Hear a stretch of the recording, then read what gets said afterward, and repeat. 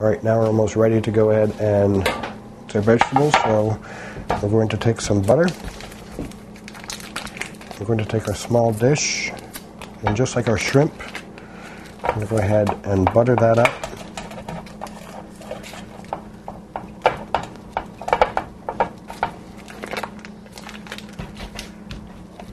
All right, now we're going to take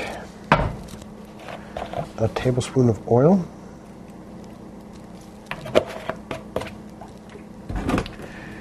We're going to add a teaspoon of salt and a teaspoon of pepper. Then we're going to mix all these together.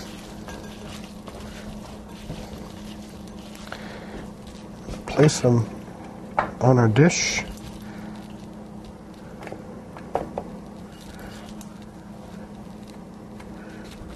We have a nice coat.